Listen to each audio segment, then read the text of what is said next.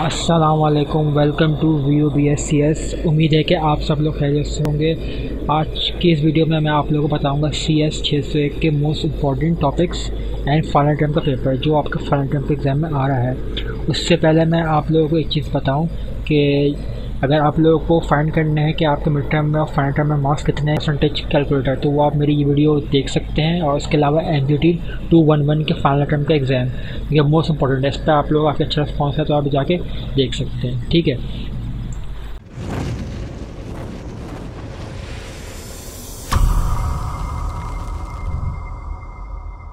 तो video start करते हैं। तो वीडियो स्टार्ट करने से पहले मैं आप लोगों को एक चीज़ बताऊँ सी एस छः सौ एक के आपके जो है वो कोर्सेज अपडेट हुआ है। तो इसके आपने ओल्ड लेक्चर नहीं लेने, ना ही और हैंड आउट इसके फॉलो करना है। ठीक है? तो एक कोर्स अपडेट हुआ है तो आपने इसके नए स्लाइड्स और नए वीडियो लेक्चर्स ही फॉलो करने क्योंकि ये लेक्चर अपडेट हुआ है तो इसके इंटरनेट पे आपका कोई फास्ट पेपर मौजूद नहीं है। तो आपने फास्ट पेपर देख के अपना वक्त ज़ाया नहीं करना। सबको जो पेपर है वो आपका स्लाइड से आएगा। ठीक है? तो ये चीज़ आपने दिमाग में रखनी है। तो सबसे पहले मैं आप लोगों को दिखाऊँगा सारी स्लाइड्स ठीक है? और उसके बाद मैं जाऊँगा कुछ पास पेपर बनाए हैं, जो पेपर में आए हैं, जो इम्पोर्टेंट हैं और जो आ रहे हैं, ठीक है? तो सबसे पहले तो मैं आप लोगों को बता दूँ फाइनल टर्म में आपके लिए, आपके जो है नाइन से लेकर सिक्सटीन तक टॉपिक है। ये लिखे हुए आप नाइन टेन इलेवन इतना ज़रूरी नहीं है। आपका जो पेपर आ रहा है, वो majority twelfth eleven fourteen fifty sixteen से आ रहा है, ठीक है? तो सबसे पहले हम चलते हैं चैप्टर नंबर नाइन की तरफ़। चैप्टर नंबर टेन में सबसे पहले आप जाके देख लें डाटा लिंक लिया ठीक है? ये आपने एक आप पढ़ लेना है, ठीक है? अब हम चलते हैं आगे।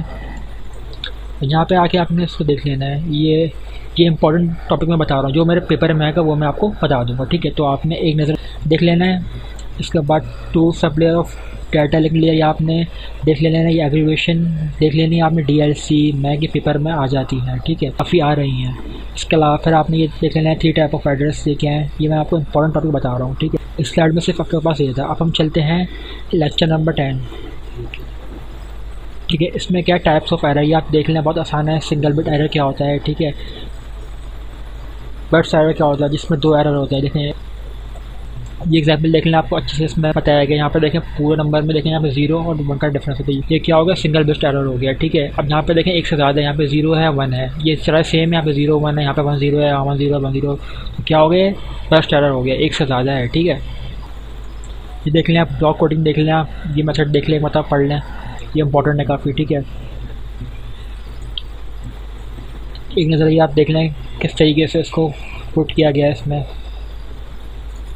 ठीक है मिनिमम हैमिंग स्टैंड काफ़ी इंपॉर्टेंट है, इसका फॉर्मूला देख लें पेपर में क्लाउन में क्वेश्चन आया था। पाँच या तीन मार्क्स तक के उसमें आपको हैमिंग डिस्टेंस मालूम करना था और उसके दोनों फार्मूले बताने थे। तो सारे फार्मूले दिए हुए आपको, ठीक है? ये देख लेना किस तरीके से हैमिंग डिस्टेंस निकालते हैं, ठीक है? यहाँ एक फॉर्मूला दिया हुआ आपको ये वाला, ये मैं क्या उसके बाद कर रहा था मैं, ठीक है? उस तरीके से निकालते हैं हैमिंग डिस्टेंस आगे चलते हैं, आगे है फिर आपका यहाँ पे ये आप पढ़ लें एप्लीकेशन सी की फुल फॉर्म क्या है। ये पढ़ लें आप, ठीक है? अब आगे आइए और, ठीक है? ये देख लें चेकसम देख लें। ये पेपर में सवाल आया था शॉर्ट में चेकसम का निकालना था। मेरे ख्याल लॉन्ग में आया था ये। तो ये देख लीजिएगा और उसका बात लाएँ तो आप एक नज़र ये देख लें। ठीक है? और फिर आप आगे आएँ, एक नज़र ये भी देख लें। यूजिंग हेम डिस्टेंस से निकालते हैं। एक नज़र ये देख लें यूजिंग एक्सॉर ठीक है? यहाँ पे सिर्फ़ एक्सॉर का ज़िक्र हुआ। जब उसमें सवाल है तो आपने एक्सॉर पर टिक कर देना है। इसके अलावा आगे आएँ इसके अलावा स्लाइड नंबर आपके पास यही था। अब आप आएँ चैप्टर नंबर एलेवन में। स्लाइड नंबर इलेवन तो इसमें हम चलते हैं। यहाँ पे ये आपने पढ़ लेना एक मरतबा। एक पेपर में आया तो नहीं है, लेकिन ये पढ़ ले जैसे मतलब डाटा लिंक लेकर प्रोटोकॉल क्या होती हैं। ठीक है, आप चलते हैं आगे। ये देख H D L C M C Qs में आता है क्या होता है तो ये पढ़ लीजिएगा और इसके अलावा चलते हैं यहाँ पे ये आपको मालूम होना चाहिए ये पेपर में आया तो नहीं था लेकिन ये आप देख लें इंपॉर्टेंट है ठीक है फिर P P P stand for ये आपका पेपर में आया है एम सी क्यूज़ में आप देख लीजिएगा आगे चलते हैं आगे ये आपको मालूम होनी चाहिए C H A P P A P PAP CHAP की एब्रीविएशन फुल फॉर्म क्या है ये पेपर में आते हैं ठीक काफ़ी एब्रीविएशन जो आपको एब्रीविएशन आपने सारे देखने की छोड़ दी है, ठीक है? अब हम चलते हैं स्लाइड नंबर ट्वेल्व में। अब देखें यहाँ से इंपॉर्टेंट शुरू होता है आपका, ठीक है? अब यहाँ पे है, ये आप, ये काफ़ी मोस्ट इंपॉर्टेंट पूरे आपके छः सात स्लाइडों में काफ़ी इंपॉर्टेंट है। इसमें आपका, मैं बताता हूँ क्या आया था, देखें। इसमें आपका एम में सवाल आया था कि रैंडम एक्स प्रोटोकॉल कौन से होते हैं? तो आपको चॉइस दी गई थी, ठीक है? इसमें ये था ये था ये था तो उसमें आपको टिक करना था क्या सही था, ठीक है? जिसमें दे दिया पोलिंग एक में दिया टी डी एम ए तो रैंडम एक्सेस में क्या आता है? ALOHA C S M A C S M A ठीक है? ये आपका रैंडम में आता है।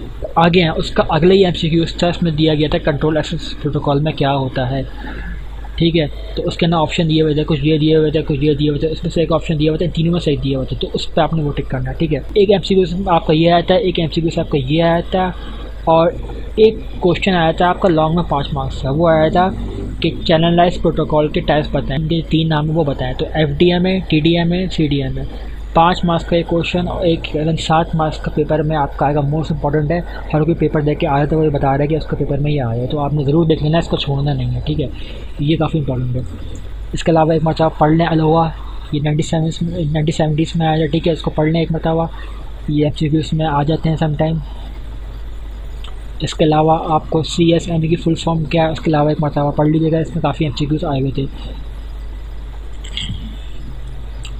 ठीक है तो C S M A C S M A C D इनकी फुल फॉर्म क्या है? C S M A C D ठीक है तो ये लिखा हुआ है, इसको आप पढ़ लीजिएगा। ये एक एम सी क्यूज़ में काफ़ी आ रहे हैं। अब यहाँ है, देखिए C S M A C A की फुल फॉर्म की एविएशन क्या है, इसको एक मरतबा पढ़ लीजिएगा, इसके क्या लिखा हुआ है। ठीक है, ये एम सी क्यूज़ में आ रहे हैं। ठीक है कंट्रोल एक्सेस है, इसमें क्या होता है, ये आप ऊपर देख के आ चुके हैं, ठीक है? ये देख लें एक मतलब ठीक है, वो चीज़, ठीक है, इसके बारे में काफ़ी डिटेल में बताया गया है, ठीक है? तो ये आप दोनों देख लीजिएगा। ठीक है, इसके अलावा कंट्रोल एक्सेस ये भी आप देख लीजिएगा, ऊपर देख के आ चुके हैं, ये भी देख के आ चुके हैं रिपीट हो रहा है, ये भी आप देख के आ चुके हैं, ठीक है? ये भी आप देख के आ चुके हैं, ठीक है? F T M F T M की आप देख लीजिएगा फुल फॉर्म ये आप देख के आ चुके हैं हाँ और ये आप देख लीजिएगा एफ़ टी एम ठीक है? आगे चलते हैं। ठीक है? अब हम आते हैं अपने स्लाइड नंबर थर्टीन बारह नंबर तेरह अब इसको आप देख लें, ये टॉपिक है आई एट ज़ीरो टू ये काफ़ी इंपॉर्टेंट है, इसके भी काफ़ी सी क्यूज आए हुए ये चार्ट आप देख लें, इसमें आपके पास एम सी क्यूज आया हुआ था मोस्ट इंपॉर्टेंट स्टैंडर्ड इथरनेट क्या होता है, उसकी ten M B P S speed होती है। फास्ट इथरनेट की कितनी होती है? Hundred M B P S ठीक है? तो ये आप देख लीजिएगा, ये आपका एम सी क्यूज में आया हुआ था चार्ट ठीक है? आगे चलते हैं, आगे। एक नज़र इसको देख लें इसका फॉर्मूला पेपर आया हुआ था। प्रोपोगेशन डिले वगैरह ट्रांसमिशन डिले वगैरह, ठीक है? आगे चलते हैं। ये सारे टेबल एक मतलब आप देख लीजिएगा, ये टेबल हो गया, आप भी काफ़ी होंगे। एक ये टेबल और एक ये, आप देख लीजिएगा, ठीक है? तो ये तो हो गया आपका थर्टीन अब हम चलते हैं फोर्टीन पर। फोर्टीन के आपके पास दो स्लाइड हैं। टेलीफोन नेटवर्क ये आपका और में आया हुआ था, इसको आप देख लीजिएगा P O T L stand for ये आपका आया हुआ था प्लेन और टेलीफोन सिस्टम ठीक है? ये मरतबा ये पूरा इसका पढ़ लीजिएगा।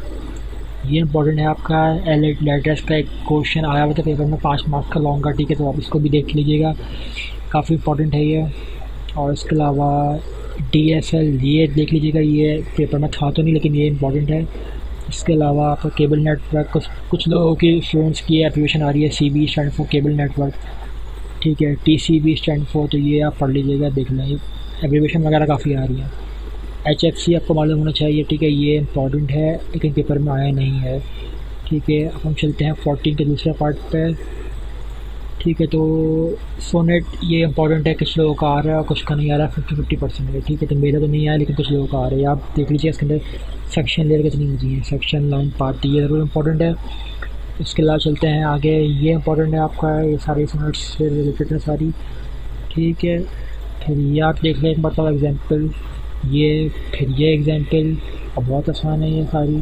फिर इसके बाद आपके पास आ जाता है A T M stand for ये देख लें आप, ये भी ये भी एम सी क्यू इसमें निकाल से आया था। और बस इसमें आपके पास ये, ठीक है, अब हम चलते हैं फिफ्टीन की तरफ़।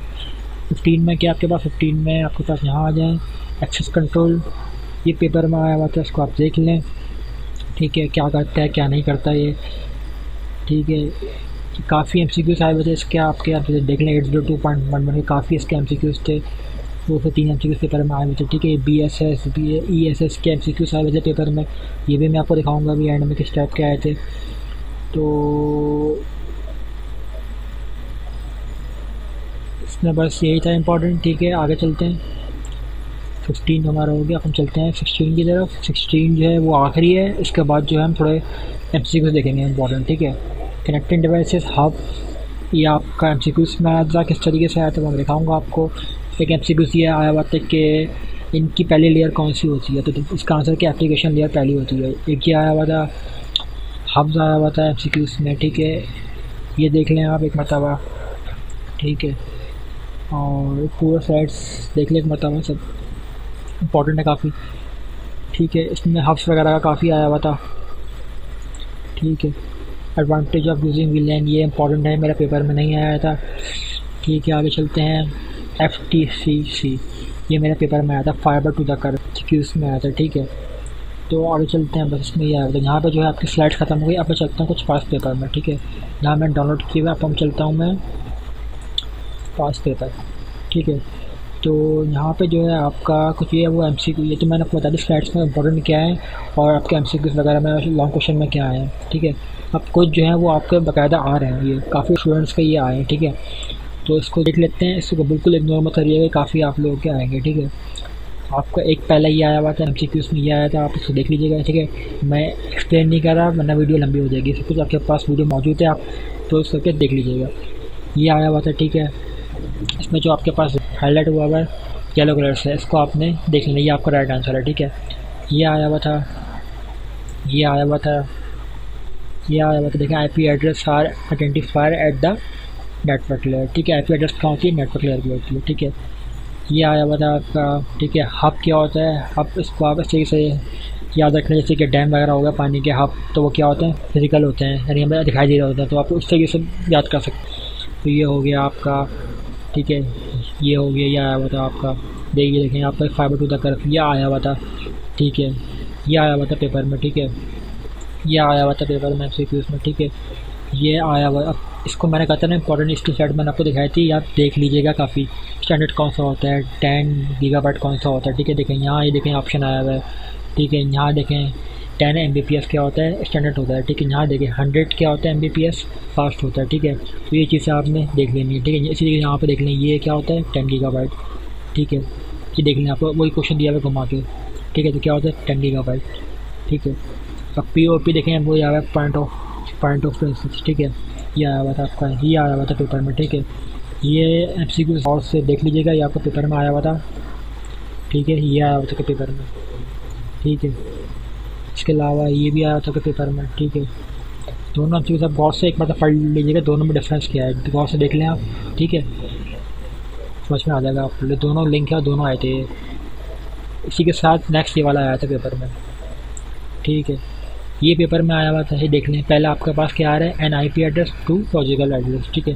तो ये आप देख लीजिएगा, ठीक है। तकरीबन ये इक्कीस एम सी क्यूज़ आपके इंपॉर्टेंट है, इसमें से आपके ninety percent M C Qs आएँगे, ठीक है? तो और इसके बाद चलते हैं क्वेश्चन देख लीजिएगा आप, आगे आप लोगों को ये इतना इंपॉर्टेंट है नहीं पेपर में आया नहीं है, लेकिन आप इसको देख लीजिएगा, ठीक है? यहाँ पर जो है आपकी वीडियो होती है कंप्लीट ठीक है? तो जिन्होंने वीडियो पूरी देखी होगी, उन्हें कोई ना कोई बेनिफिट ज़रूर मिला होगा, ठीक है? अच्छा अब एक इंपॉर्टेंट बात मैं आपको बता दूँ, अब ये वीडियो लोग जो लोग अभी देख रहे हैं वो तो ठीक है, लेकिन अगर ये वीडियो लोग देखते हैं दो तीन महीने बाद या अगले सेमेस्टर में या एक साल बाद तो क्या ये उनके लिए वीडियो यूजफुल है या नहीं, देखें? ये कोर्सेज जो है अभी अभी अपडेट हुआ है यानी हुए हुए, अगर अगर आप इसकी आप वीडियो जाके देखें तो मुश्किल से एक साल हुआ है इसको। तो आप लोगों से यही रिक्वेस्ट है, जब तक कि लेक्चर अपडेट नहीं होंगे, उस वक्त तक ये वीडियो आपके लिए फुल है। क्योंकि अभी इनके लेक्चर अपडेट हो रहे हैं, यानी इसका मतलब दस से बीस साल बाद ये लेक्चर अपलोड होंगे आप, क्योंकि आप लोगों को बताया वीडियो में।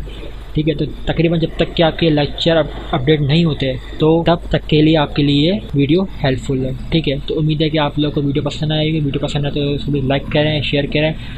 आप लोग वीडियो शेयर नहीं करते हैं प्लीज़ जिन लोगों की भी छः सौ एक का ग्रुप है, आप लोगों के पास व्हाट्सअप ग्रुप है, जो भी ग्रुप है, आप सब में शेयर कीजिए और चैनल को ज़रूर सब्सक्राइब कीजिए। मिलते हैं अगले लेक्चर में, जब तक के लिए अल्लाह हाफिज़।